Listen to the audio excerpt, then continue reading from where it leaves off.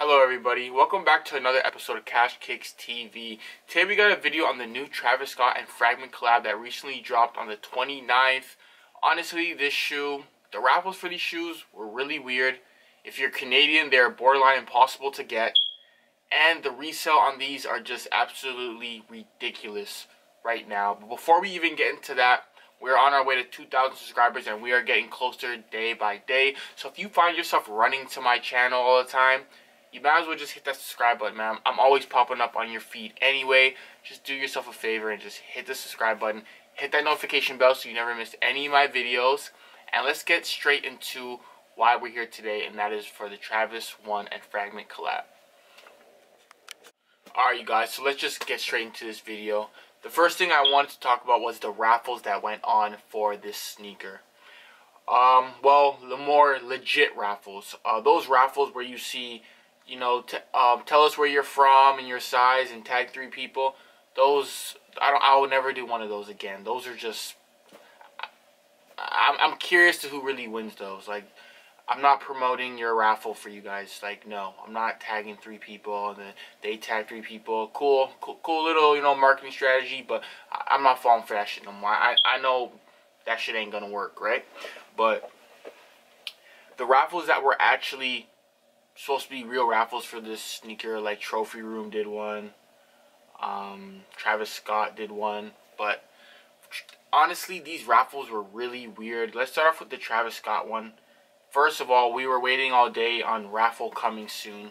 And then the raffle finally did come. And you fill out some information and then they email you if you win. Like, you could just tell a raffle like that is just very, very hard to win. I'm not saying nobody won. Somebody had to have won that raffle. But it's a really, really tough raffle to win. Like, I just can't picture the Travis Scott website emailing me that I've won the raffle to purchase their shoes. Like, can you imagine seeing that in your email?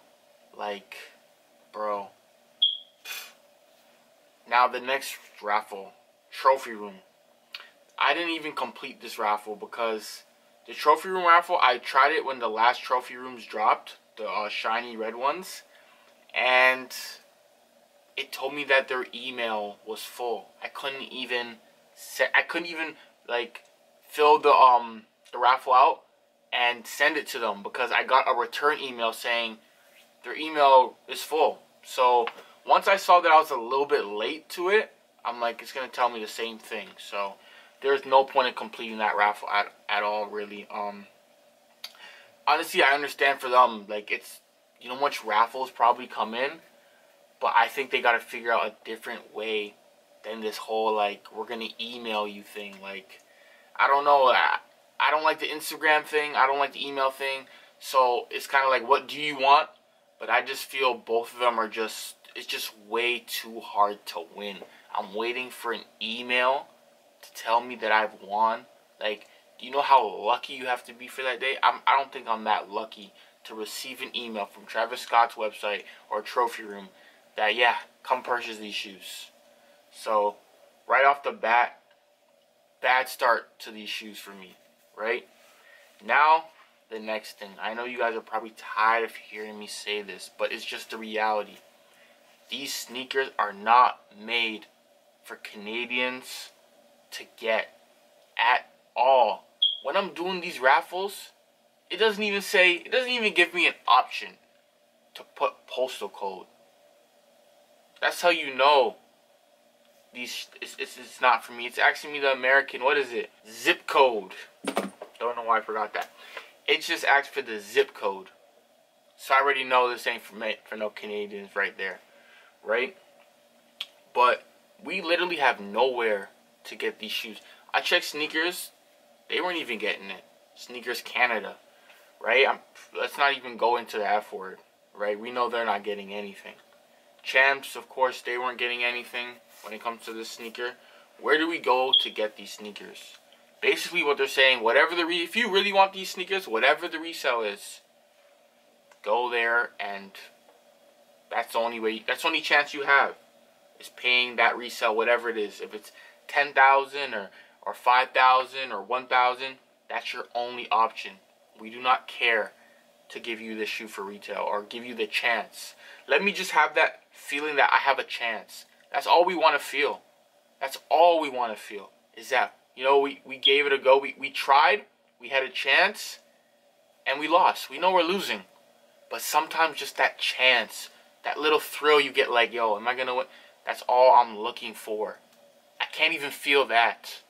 I can't even feel just the excitement of possibly winning one of these sneakers. I already know I'm not winning, but it's tough, man. I know you guys are probably saying, well, move. It's not that easy. It is not that easy. You know what I mean? Like, I, I just don't see why we can't try to... It's not like we're acting like, are people not going to buy them over here or something? Like, I, I don't know, man. I don't know. But the main reason why I wanted to do this video, it wasn't to complain about it not being available in Canada. That's becoming old news to us, right? It wasn't really about the raffles. That's annoying, but whatever. Getting used to that too. It was because the ridiculous resale price on these already. Bro, I went on GOAT today just curious to see what these were going for. In my size, $4,113 plus a duty fees. I'm going to say another thousand probably on that. If not, more. So we're talking five grand right off the bat for these. Now don't get me wrong. I get it. It's a Travis Scott and fragment. The regular fragments are about six grand. So it's actually more than these. But that shoe is a little bit different, man. Like it's been around for a long time and it's known as a legendary sneaker. This shoe, come on, bro. Four grand for these? Bro, I've never seen a shoe where there's a high top and low top that drop and the low top is 100% better. How is the low top better than your high top? That's crazy. Yo, the low top is mad. It's mod fun. But, what's the resale on that one going to be then? It, it, it's going to be more than the high top probably. Everyone knows that the low top is better. Right? It hasn't dropped yet. It's, it, I think it's dropping sometime in August. But, I just feel let this shoe like of course it's already hyped but like whenever a shoe drops usually you have that little period of like i would say like a month to three months where the shoe slowly like rises and you have your chance if you really want them get it right away because it just dropped so you know the price is still not at its peak yet which is probably still the case for these. So what's the price going to be three months from now for these? So basically, anyone in Canada, if you want these shoes, you got to pay five grand for them. Because there was no retail option. And say one of these stores do get them.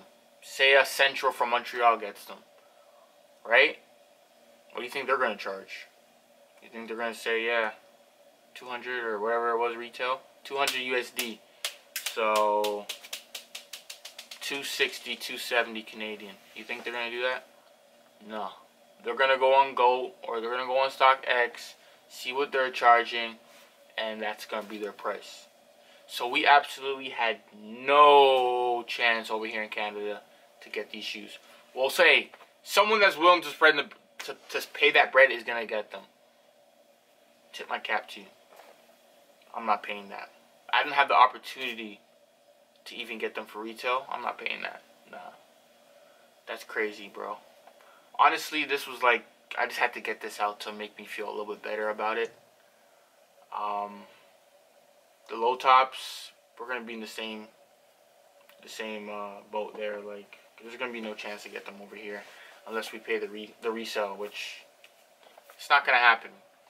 It's not going to happen. How do you guys feel about these, man? Do you do you think it's worth to pay the resale for these? Like, is it investment worth it? Like, do you think one day this shoe is gonna be worth double that? Like, that's the only way I could see me investing in that shoe. Where I'm like, yo, this shoe's gonna be worth 10 grand one day. That's the only way. Like, it's at the point when the resale goes up that much, you can't even think about keeping the shoe.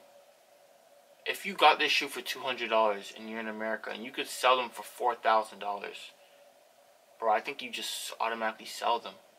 Like, only celebrities could really enjoy and wear this shoe. Like, I'm not keeping this shoe, rocking it to nowhere when I can sell that shoe for Thor for four thousand dollars. No, absolutely not.